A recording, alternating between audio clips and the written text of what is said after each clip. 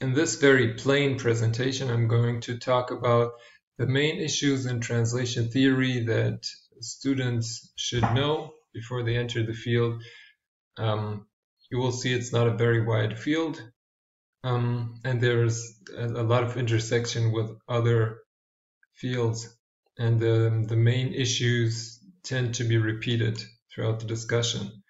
So, first of all, we have a, um, a classification of translation studies um, into pure and applied branches. Um, and these are very much separate. We have a um, university uh, acad academic discipline of translation studies, which is kind of uh, fighting to maintain its independence from linguistics or from, from language departments. And um, they, they're, they study the applied field, but they often um, they don't work in the, the field because in, working in academia is a different job than translating, although there are exceptions. Um, so a lot of times what people will learn in university focuses very much on the pure field, um, on, on the like functional translation theory, on the what they have now, maybe post postmodern translation theory, and not so much on the the practical issue of translation. Um, for me, it's different because I've worked as a translator most of my life, and I uh, I didn't study it until having been in the profession a couple of years. Um, here's again a, a, tree of the, the applied field. Um, there are some voices arguing that uh, because it's a practical translation is mostly a practical activity, although it's been expanded into this whole uh, cultural framework, uh, that it should join again with uh, with linguistics. That it it should become a part of language learning again because it was for a long time considered part of language learning and then kind of separated for various reasons.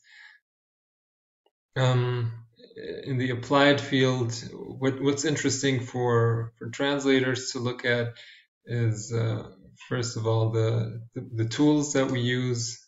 Um, you, you, should know about the, the major um, CAT tools and the, uh, the word. You should know advanced word processing and a little bit of desktop publishing um, you should be really internet savvy because I still see, especially in the older generation or even people still entering the, uh, um, profession right now, they are not what you would consider a digital native. So you really have to be up to the task. You should be able to work in any modern uh, agency environment as a translator. Um, the thing with traditional translation theory is until very recently, most of the text published was some sort of literature, and only like in the last, let's say, 30, 40 years did translation become a major thing. Uh, well, tra tra translating has always been important in international business, but it's it's not been such an important business process as since the 1980s and uh, a lot of the theory has shifted since then because we're not working with books anymore. The, uh, when you study translation theory they're talking about books. They start talking about the only book that was available the bible and then they continue talking about novels when they came up in the i don't know 18th 19th century. Um, but um, you see looking at the product that you translate is not really that helpful. You should first of all see it as a service, it's or a process as it's treated, and um, also in, in, the industry standards. And it's like very much nowadays a form follows function approach. So um, the translation, whatever turns out in the end, you know, you can take a text and translate that into a, a movie yeah like like a director does and that's kind of um, what is going to be happening on the smaller level too for translators that you get a different input format and then turn it into something completely else what's the the main the main issue here is you want to meet the customer's expectations. So when they give you specifications, they want something from you, you have to give it to them. That's the whole deal about translation right now. Um, so text text is the definition of a text is changing, or for interpreting, you know, a, um, speeches, not so much maybe, but uh, translation is turning really into a um, into a transforming activity. Um, so you it really don't a lot of the old theories or still a lot of translation theory, theory looks at the word level Did they use the right word to translate that. Is it accurate? And accuracy really is not such a big deal because you are producing something for the target market and it's a new product. Or uh, like it's it's a new text. So you have to make sure that what you put out makes sense internally. Your output has to make sense. And whether it's really in line with the input, that's a matter of debate. Still has been for, for the last couple of thousand years. Um, so what you're going to get a lot of times when you're starting translation the theories is the initial definition of a text. So uh, you, there are written let's say there are written or other products that are not a text. Even, you know what I mean? They're writing, but they don't make sense, for example, because text, they have to be coherent. They have to, they have to have cohesion. You know, one, one's, uh, um, one information has to follow from the previous uh, se sentences. Um, there has to be an intention. It has to be acceptable for the audience um, it, it, has to make it has to make not just sense internally, but it has to make sense in this information in the situation, and it has to convey some sort of information.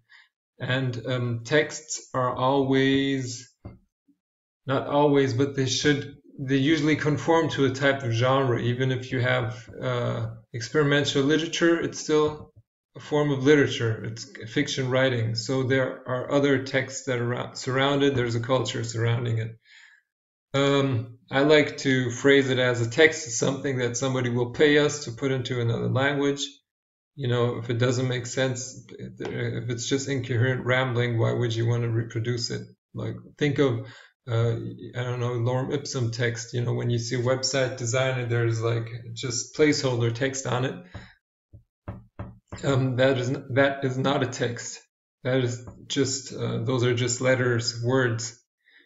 Um, and uh, since people pay us to translate it, they're not paying us to create the text. They're they're paying us to convey the meaning more or less. They want the text to have a function. They want the text maybe to tell people to do something, to achieve certain behaviors in their audience, and that is our job that is our job to make the people do what our clients want them to do, basically. Um, the one another classic in translation theory are the translation strategies um, proposed by Vinay and Dar- Darbelnet. They they were like a couple of French theorists. Um, and those I find very interesting. It pays to take a closer look at those and maybe really understand them. Um, they look at the various levels, like word level. You have different, uh, you have like uh, borrowed words, which are like, for example, in German you call a computer a computer, although there is like a Germanized word for it. There are, um, which would be the calque.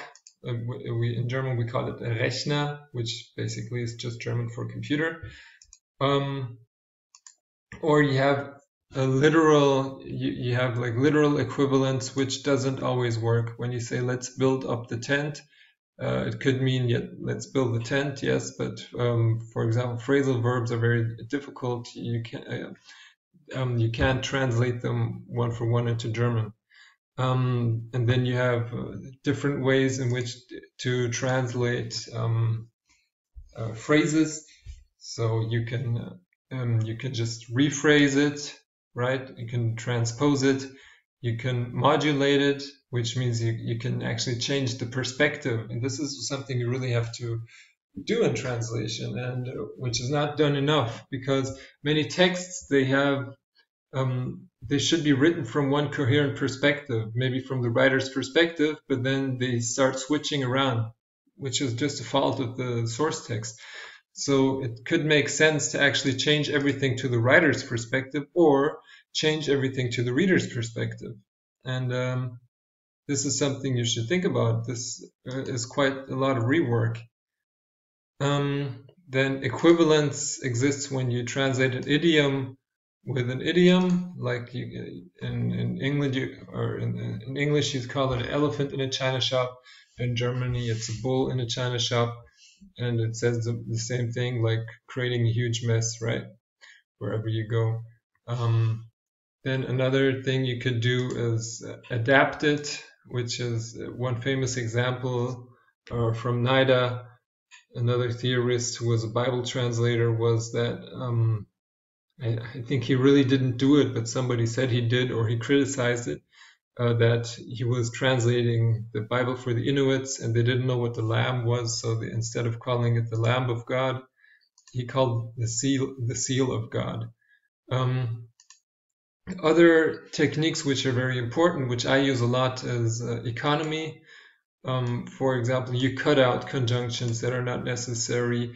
You place um, you, you reorder words to save conjunctions, to reduce commas, um, to make the sentence flow better. You put the subject in the initial position to make it sound more like actual English.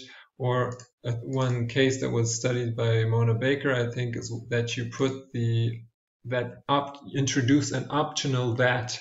You, you can say you can say, for example, in English, the man I saw or the man that I saw, and in um, in this study, um, which I think was from the early 90s, they found out that um, the translators are more likely to explicitate. Um, so they added the that. They made it more obvious.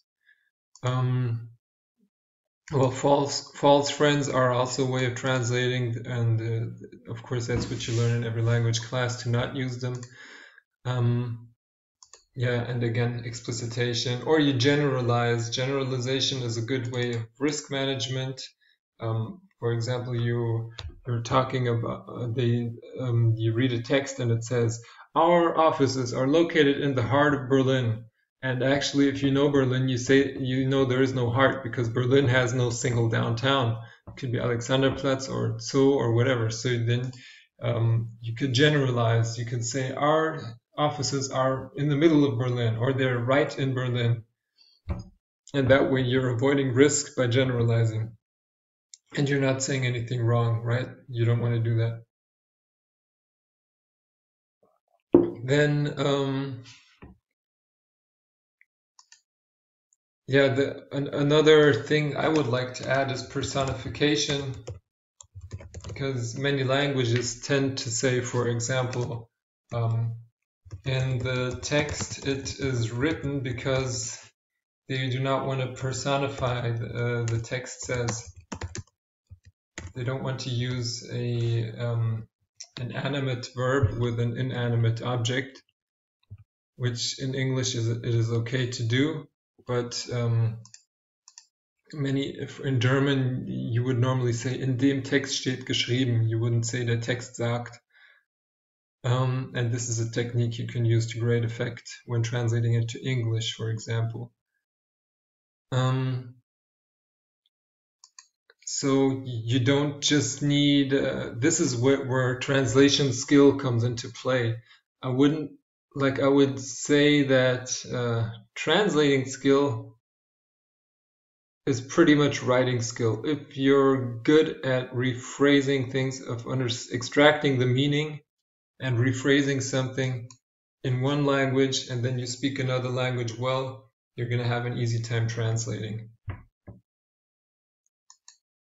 Um, I, want to mention some examples of calques that we talked about earlier because what's really interesting, German has uh, had a big Germanization movement and uh, started maybe it started maybe with Luther or maybe earlier that they just took all these words that were Latin or Greek initially, and they invented German uh, calques for them um, to make the language more easy for Germans or to make it more internally coherent.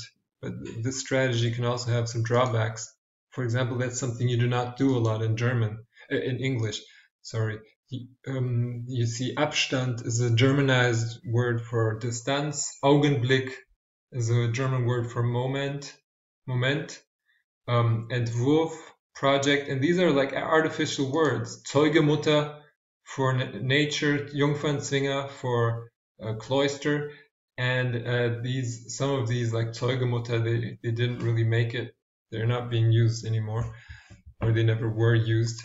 But like something like Grundlage, Fundament, or even Hochschule for university, these are or Völkisch for national. These are all Germanized uh, versions of words that used to be in Latin, and English doesn't do that. For example, you think about distance is distance in English. Is there a um, there might be an Anglo-Saxon word for it, but it's uh, the the Latin one is going to be used. Moment is moment, project is project, nature is nature, foundation is foundation, university is university. So some some countries, interestingly, they tend to do that for example, modern Turkish has done that because the, the old Ottoman Turkish was full of loan words.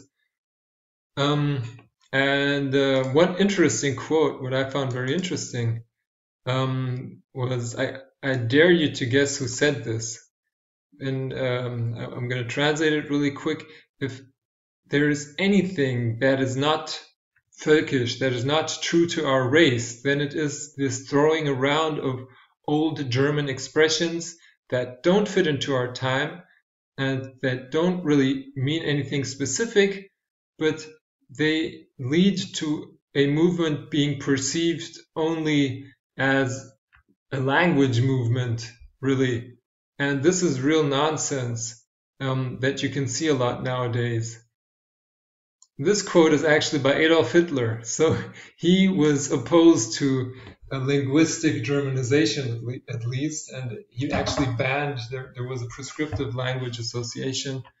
Um, he banned them for criticizing the Nazi language too much because they actually liked to use foreign words so people wouldn't understand them. And also, they thought if we're going to become world power, might be other for the subdued nations to learn German if we have more loan words. Interesting fact. Um, and uh, also a lot of the German, um, a lot of the German grammar, interestingly, was introduced from Latin through translation. So not just words, but even grammatical structures. Um, the old, the older German, uh, what they spoke in like the Charles, Charles the Great's times. I don't know, Old High German or what it was. It had different tenses, or it didn't have a lot of the Latin tenses that so that were introduced now. And now nowadays we have our, our German grammar studies are is very much based on the, the categories from Latin, all the names that we use for the tenses and whatever. And those were actually imposed on the language. So those can enter a language too. And now the same is happening through the influence from English that um, the grammar is changing through translation. Um, so now, before we talked about text, right? What is a text? And now we, um, there was a, um, um, a, scholar called Paul Grice, and he set up a, a, couple of maxims for communication. And this is pretty much what all common sense business communication courses are going to teach you, right? Uh, I used to work for a company. The guy, he always, the, the boss, he always used to say, just make sure it's not embarrassing. Hauptsache nicht peinlich that pretty much summed it up for me. You know, just make sure it makes sense, and if it doesn't make sense, don't even say it. Um, and uh, the, the, first of all, the you have to include all the necessary information, but not include too much information, right? Like writing business emails. Hey, do you have the papers? Okay, send them over. That's it, right? Truth yeah, so don't make assumptions, especially in copywriting. You know, when you say we have the best product, how often do you, do you read that? How can you know it's the best product? Do you know every product in the world? No. So these kind of things, if you say them, they just make you sound foolish if your customers really think about it. Um, so keep, tone it down. You're going to have a lot of text to translate that, that make these kind of false or, uh, you know, these uh, statements that are neither true or false, you know. Um, then it has to be relevant. So that the relevance really depends on the receiver. If the audience doesn't understand your product, um, it's not gonna it's not gonna resonate with them. The, the it has to be clear. You have to speak in clear language. You know, for one big difference between academia and the business world is in business people don't get paid to read your crap. So you want you want to sell something, you want something from them. In academia, people get paid to to read through your musings. You know, you can express yourselves in funny ways, and they, they, your professors be uh, will be like, okay, I get paid for this, so I'm going to be patient. This is not going to happen in, in business. So yeah, you have to be clear, uh, avoid ambiguity, and actually a lot of the grammatical structures in English are just based on a lot of the strange rules that we have are just to avoid ambiguity, to make uh, to make clear that uh, we're meaning one thing and not something else. Um, yeah, these are these are really things to think of, and this these these maxims, what's important about them, they have to apply to your target to your translation. So whether or not the source text observes all these maxims, you want to make sure that you get them right when, when you're writing. Um, a related concept are the text functions uh, for which were set up by Katharina Reiss. She was a, a German translation scholar and um, the, the, the, text functions are actually based on older an older model, I think by Karl Bühler, and then she added a category by uh, Jakobson, Roman, I think was his name, Roman Jakobson, who was a big linguist. And uh, the, the way you, you're taught in translation studies is actually that these are separate functions you have a text that is informative or it's expressive or it's appellative, like like a call to action that wants people to do something, or phatic doesn't have a, a linguistic function, just a social function. Um, but these are not really separable, you know, and they're like, um, yeah, you can imagine it like a triangle. Um, for example, you have a report that's somewhere between informative and operative? Is it expressive? Some people might be expressive report writers, you know, that they put a lot of emotion into their reports. Is it really appropriate? You don't know. So if you're translating a report that maybe is overly expressive, you might want to tone it down in the target. You have an electoral speech. I would say would be pretty much more on the expressive side, of course, because there you want to you want to get maybe you don't even it's not operative. You don't really want people to do anything, but you want to move something in them. It's kind of yeah a little bit like like a poem, like fiction. The thing to keep in mind is you you have to classify every text that you work with and make sure it fits somewhere in that it is going to be somewhere on that matrix and phatic is not included here so a lot of the writing and, and copywriting for example our dear valued customers uh, welcome to our page. These are phatic um, this is phatic information or, or phatic communication. Um, so you have to think about wh whether it is relevant for your target audience because of course these phatic uh, expressions they vary strongly across different cultures. Um, and here I want to show once again, for example, that these different text types, they can really, they can cover various fields. So a report can be informative, and a narrative, like a story can also be, inform it can include information. Maybe the information is more important than the way it's told even, right? Think about like oral oral history. Um, so it's not clearly separable. Um, also, one thing I want to point out is uh, copywriting, transcreation. A lot of people think that copywriting is expressive. Copywriting, like advertising, is where does this belong? Is it an expressive text? Is it informative? It's appellative, phatic. You know, one clever thing I heard is all writing is copywriting. If you're writing an instruction manual, that's going to be advertising for your company. If you're writing your website, that's going to be advertising. The GDPR, even if nobody ever reads it, that's going to show how your company is. You know, everything says something about your company or says something about your readers. So, first of all, remember that all writing in business is copywriting and that all copywriting should be informative. It should give the people what they want and normally they want to know why they should buy your product. Um, so one uh, good strategy I want to suggest, one practical strategy are internationalisms. Um, they are usually abstractions, like in the fields of politics and science, like old words from Latin and Greek, or they're concrete products like uh, coffee, chocolate, tea, chai, which are pretty much the same in all languages you can imagine. Um, then you have uh, words like system, international, problem, republic, which in the Western world are almost universal, universally understood in all languages. Then you have like Arabic root words like siyasat, mushkilat, istiklal, huriyat, kitab, these are the same from uh, from North Africa to India. People will, will understand these words.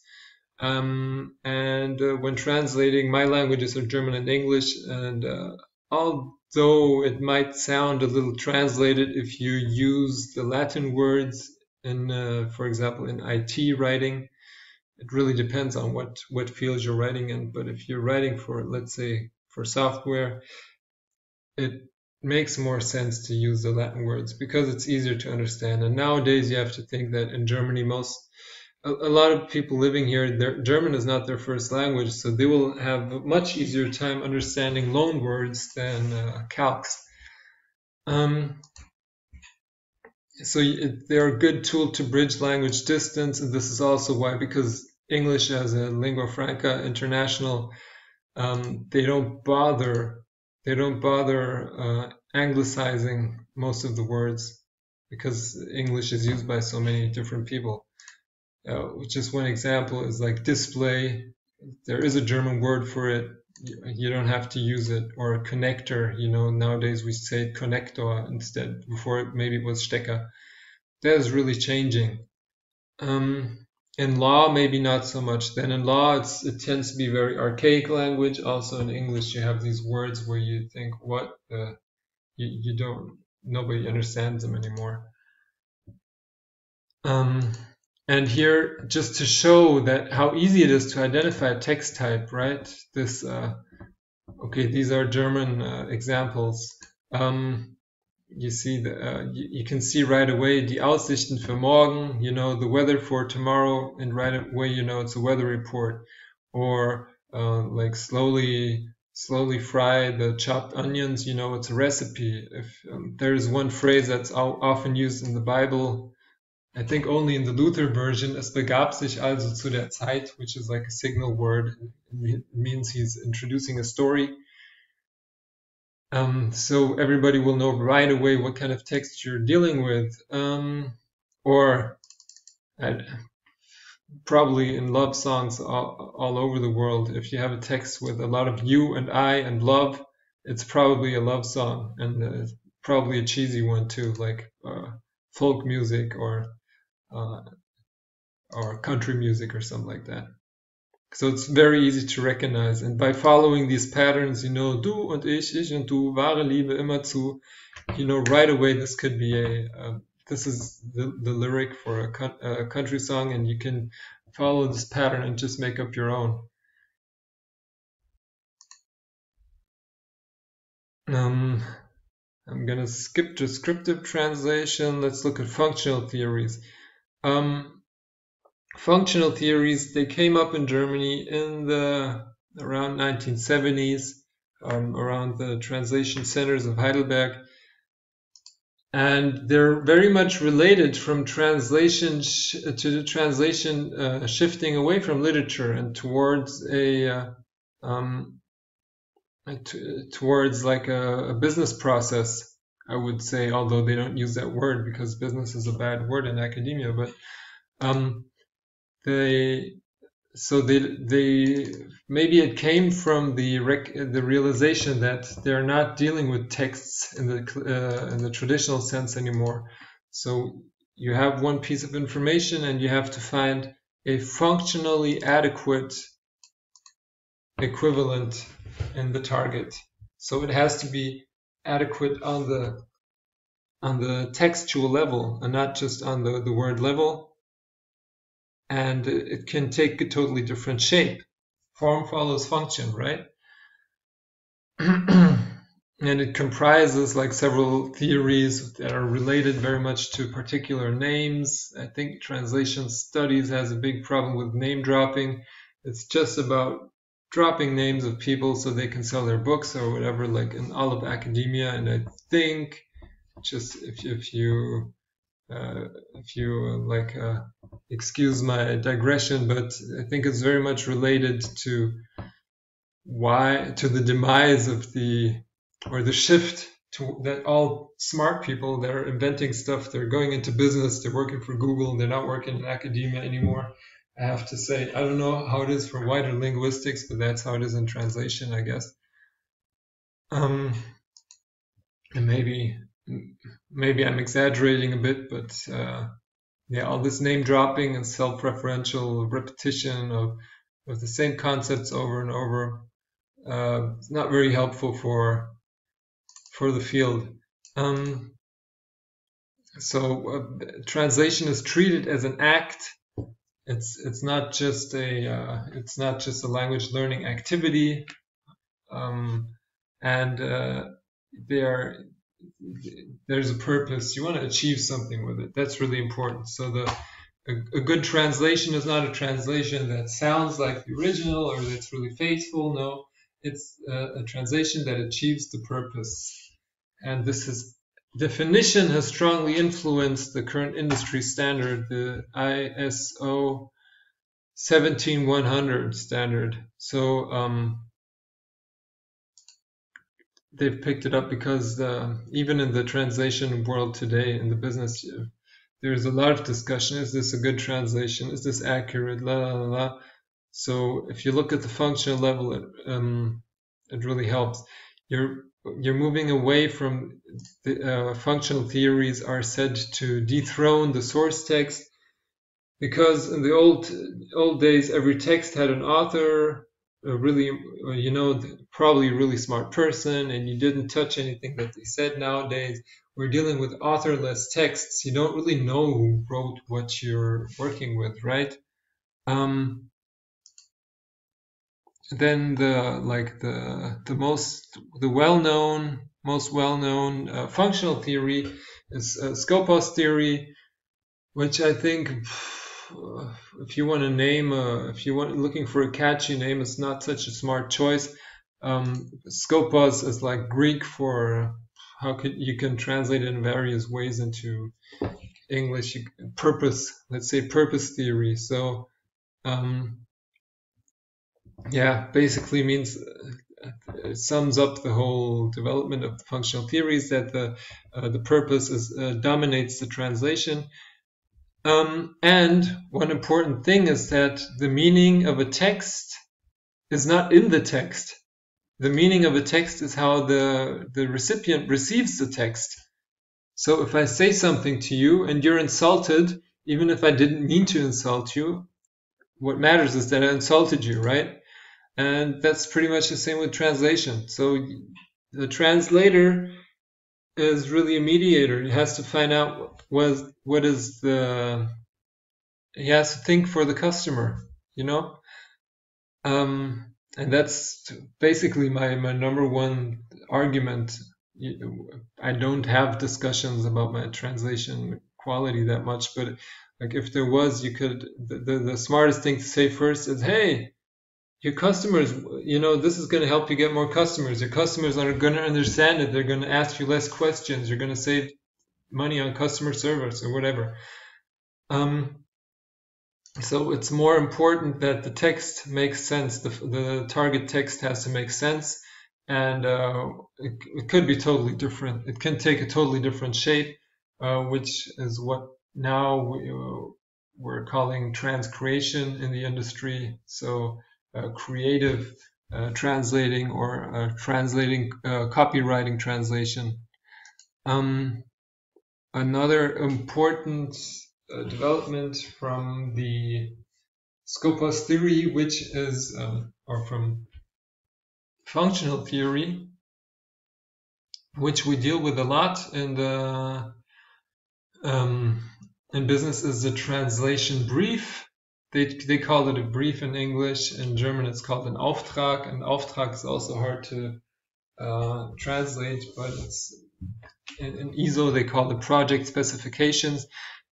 Basically, what it means, I'm not going to talk about the piece of paper. It means the customer has to tell you what they want. The quality is meeting customers' expectations. If you don't know the expectations, you can't meet them. So it kind of places the responsibility on the buyer side and I mean, the translator does have some responsibility in talking to the to the client and finding out their expectations. You know, for example, I recently worked with a web design agency and they were pretty good. I, I knew they were good because why they asked me all the questions that I didn't even know I had because they knew their job. And this is what you're supposed to do, the translator. You're supposed to somebody sends you a text and says, Hey, I need this translated, then you're going to say, Hey, wait a minute. What about this? What about that? What is your audience? By when do you need it? What format? La, la, la. And this is basically how you how you come up with this translation brief. Um, and this is separate from the purchase order, um, Bestellung or uh, PO in English. Um, the PO is just, hey, we're giving you the job, and uh, maybe tells you the deadline, but that's it. And you can find uh, templates for translation briefs online, good ones. Um, however, although we have this translation brief, although uh, ISO 17100 um, states that you need process specifications, um, the translation quality concepts, the, the QA assessment concepts that are used by agencies, maybe not so much anymore, but just until a couple of years ago, they were very much based on formal finding formal errors or stylistic errors, to, to have a softer term, um, and, and not so much on a, on a translation brief or on like uh, on an adequacy. Um, and now I, found a really good study from, I want to drop her name here because she's not one of the big scholars, but her name is uh, Miloraba Shiflet. Forgot the first name though. And she, she wrote a, a really nice paper on uh, equivalence in legal translation because that's a big thing. You have, um, let me just follow her explanation. Like the, um, you have varying degrees of equivalence or non-equivalence. So you can have like something like a civil union, eingetragene Partnerschaft, and the civil union has uh, probably entered the German law from international law. So just like human dignity, which entered German law from the UN Declaration of Human Rights. So these are actual equivalents, probably even because the German was translated into German from the original. You, so you can use these you can use these terms in translation. Then you have annual bonus, which depending on the context, if it's just for an employee, you could call it like a variable pay, like variable proportion of uh, the salary variable. Uh, you could call it, or in German we call it a bonus nowadays, but a bonus would be maybe something more for the managers. Um, so an annual bonus, and this is also like a really Anglo American thing, right? Having a not having a fixed salary but having a bonus. So these are equivalents. You can use them across languages. Then you have partial equivalence, which means um, there may be like some, some degree of uh, lexical equivalence, but not legal equivalence.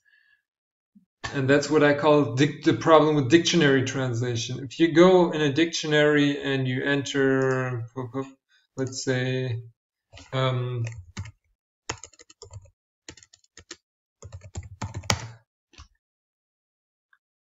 you enter Geschäftsführer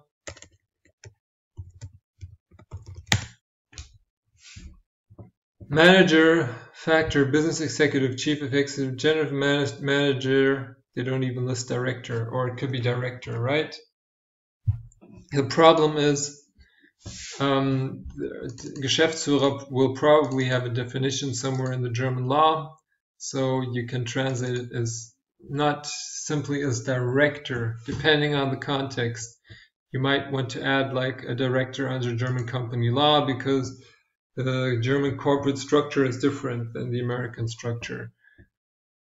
Um, then murder, for example. Yes, murder is a lexical equivalent, but the law, you're not going to be sentenced for the same law in Germany as in the US for murder. So um, you might want, you might, depending on the context, want to explicate it and add an explanation as defined in section 201 of the StGB of the German Criminal Code to you because you want to reduce ambiguity, right? Going back to the Grice's communication maxims. Um, then the the last uh, difficult um, issue is a, a non-equivalence, but at the legal level. Um, in English, for example, you have in America you have a plea bargain. That means kind of you you say you're you're guilty, and then the the state prosecutor he gives you the how do you call it the government government attorney. Oh, they, they, he gives you a lower sentence. Um, you can translate it, this into German as auf plädieren, yes, but there is no plea bargain in Germany. So the, um, it had there here there is linguistic equivalence, but there is no legal equivalence. Uh, and a tricky term is Sozialhilfe, which in uh, Germany um, doesn't exist anymore because now we can't call it unemployment benefits. Two um, used to be called like social assistance. Um, and you cannot translate that as, as social security when you're writing for America. For the wider English speaking world, yes, social security in the, I don't know, in the UN charter, somewhere it is defined as like social assistance. But in America, social security is, um, is a minimum, what we call in Germany, um, Grundsicherung this is what you get when you're old and you can't take care of yourself, and this ensures a social minimum for people that are out of the working um, population. And Sozialhilfe in Germany is for unemployed people or long-term unemployed people. So there's no linguistic and no legal equivalence. And you and you really have to know your stuff when you're translating these kind of things, or at least be realistic about your abilities and know when you're when you have to do the research. Um, for example, let me give you a German Hartz IV abschaffen. How would you translate that? Um, Hartz IV uh, is like kind of the equivalent of welfare in Germany. So can you just translate that as abolish welfare? Uh, uh, uh, no, not really, because Hartz IV abschaffen is what people say who who want they want more benefits, not less. So this is something to think about, right? When you have these terms, you can't just translate it as abolish welfare. Doesn't work. No, you, you could actually. A functional translation would be more welfare, more welfare payments but it's it's a total modulation of what the source actually said, right? But it preserves the meaning. Um, Yeah, then there's a newer school that I'm gonna talk about really quick. Um, Berman's negative analytic, and this is related, then expanded by uh, Venuti, who's a literary translator, American one, and they're talking about like things things not to do in the uh, things not to do in translation. Your um, or things that you, or strategies that you use in translation, but they're kind of adding a value judgment and they're relating it very much to the source text, and this is often criticized as a return to literalism, to strict literalism. And well, it might make sense in, in fiction writing because those are tend to be higher higher value texts. Um, but it doesn't really have much applicability for the for the business world. Um, for example, that you rationalize, you make the text more readable, you're explaining content, you're expanding, you're improving the author's style, you're um, you're hiding taboos, you're reformulating them to not injure the target audience's feelings, and uh, this the related foreignization approach is all about preserving the cultural quirks of the source text. Yes, maybe it's cute for people who want to read about, uh, who want to know about whatever German culture and they want to know it literally. But when you're trying to sell something, I suggest that's something you don't do. This is really out of place in, in copywriting. There, it's really about adaptation. Maybe you're going to really rebrand the whole product and, and invent something new. Um, so again, as I said, there's a big split between theory and practice, and also between literary and um, and commercial translation, which some people are questioning, but it's around issues like these where it um, revolves. Um, we've had also a cultural turn, like in all of the social sciences, where I don't, I'm not sure if translation should be considered a social science. I guess um, we've had a cultural turn. Translation is more than language. You're translating culture, right? And here's one example, interesting example actually. These are like two German rappers. And you know, rappers, what they do, they translate American culture into all over the world. And uh, the young people like it, old people don't like it. Um, and uh, what what I found really interesting um, this guy, Kollegah, Kollegah and Farid Bang, and they won an award.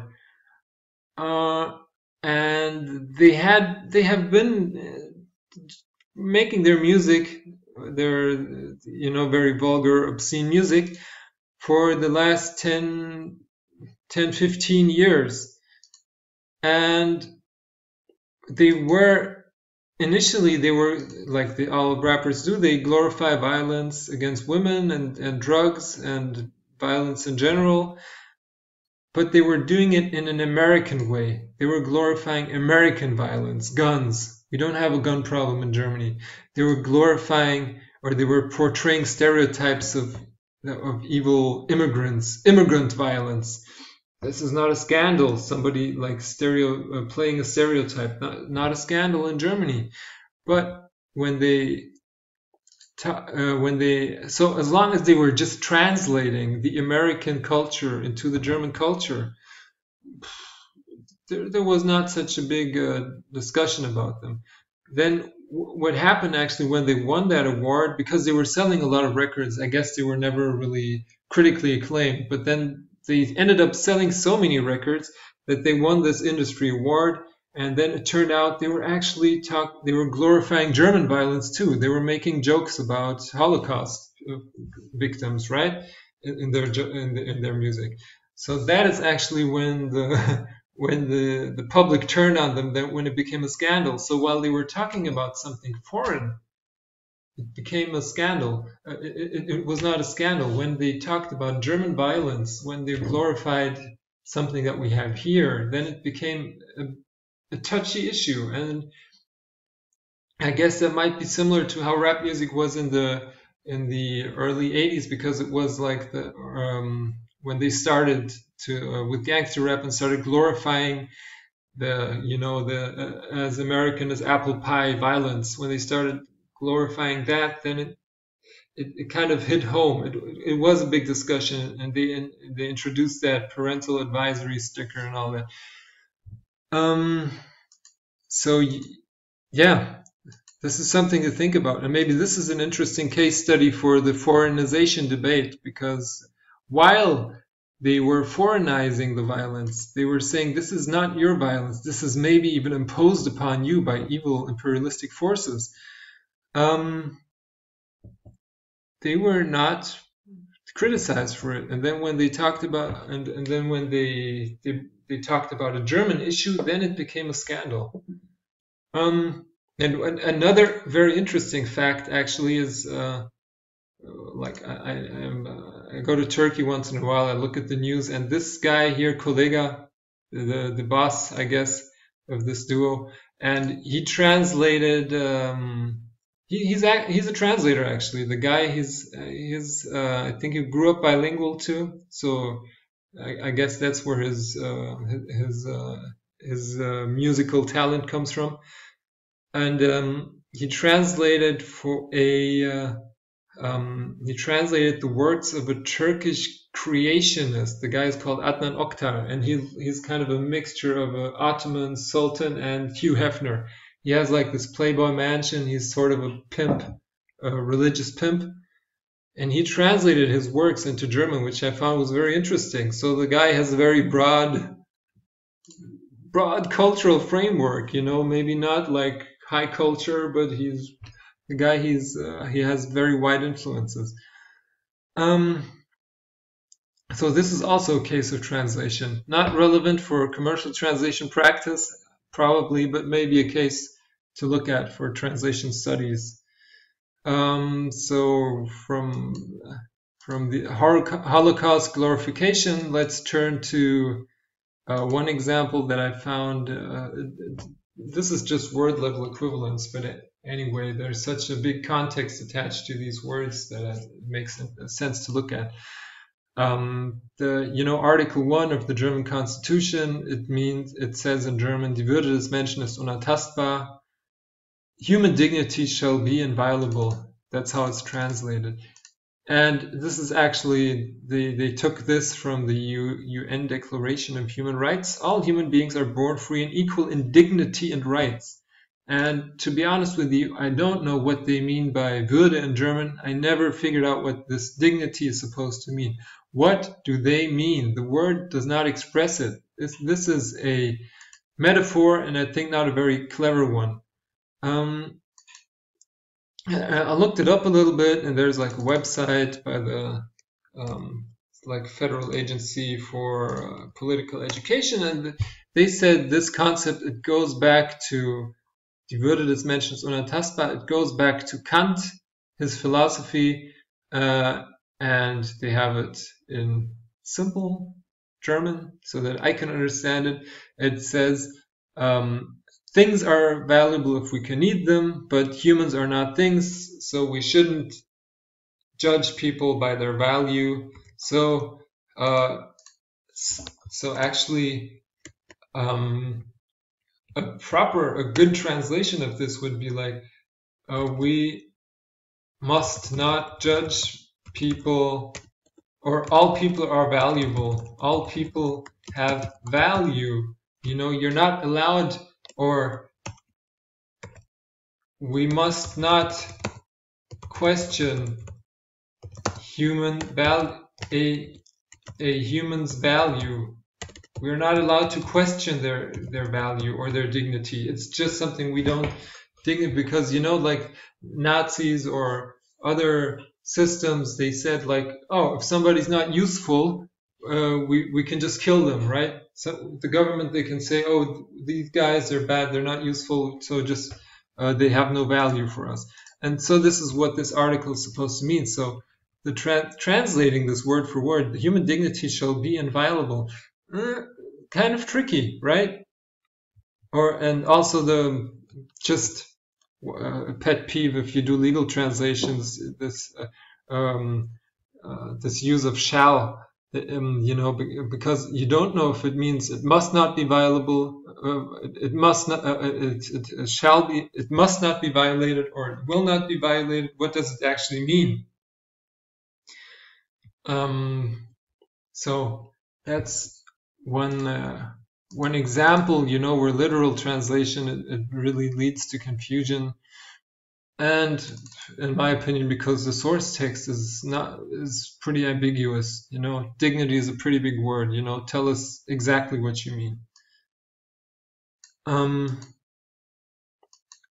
then another interesting case study I want to look at in translation is uh, the, um, I, I, forgot to write down the quote, but it's actually uh, uh the ex exact uh, Bible citation, but in the King James version it says, "And Adam knew his wife, and she conceived."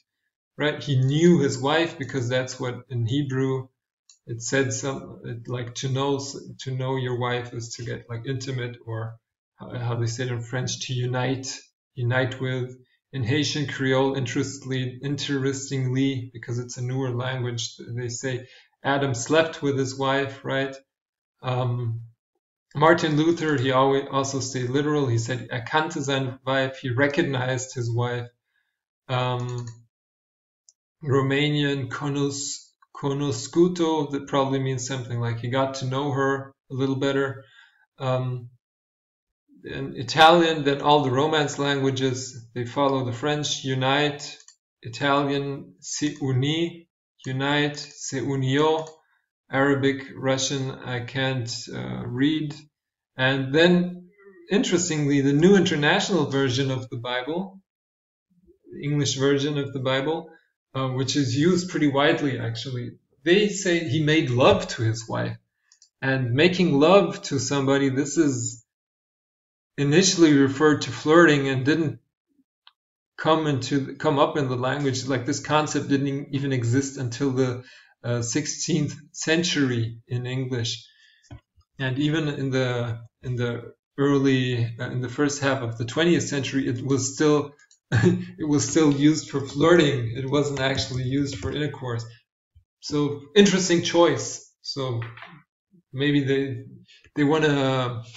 Um, it's a pretty liberal use of the word love, but I mean, I guess that's probably the message of this book. Um, so I'm almost over. Just one, uh, a couple of questions to think of, like as I've mentioned before. Um, for most of the texts that you'll be working with, is there a single author or is there a single intention? So whom, whom do you dethrone when there is no author and there is no source text? You know, the, the um, there the, the text might have might be a multi-purpose text or um, and, and you very rarely you're going to know who it was written by and you're not going to be able to contact them in most cases then uh, Mona Baker, she introduced, that's where I found this, uh, the Maxims by Paul Grice. She uh, said that sincerity, brevity, and relevance are maxims specific to the English culture.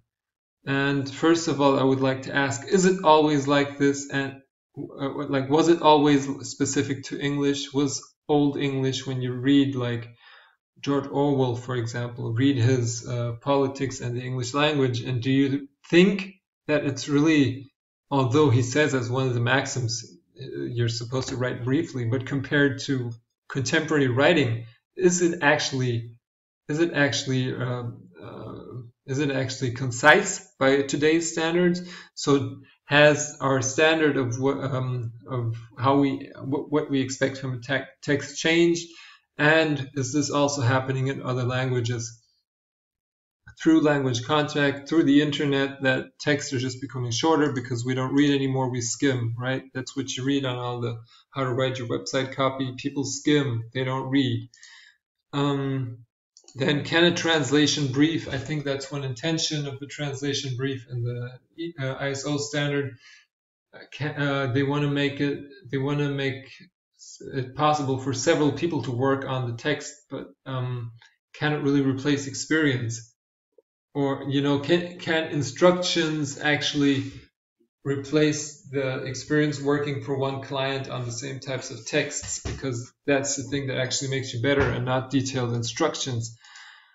What do you think? And um, is it more important to know your subject or is it more important to know your client? Because a lot of, uh, in Germany especially, you know, we're a country of experts. So all the all the translators they claim to be big experts in their fields. They know everything, you know, or should you know your client? Should you know what your client wants? Might might be some worth thinking about, especially in your own in your own freelancer business communication. And um, yeah, another question that I asked before was: Is cultural is a cultural turn in translation studies, which I didn't talk about that much. Is it the attempt of cultural studies to conquer translation studies, as uh, one author expressed it? So and uh, what uh, can we do about it or is that really relevant is cultural studies relevant to us okay that was all for now thanks very much if you listened and um, if you have any comments just leave them below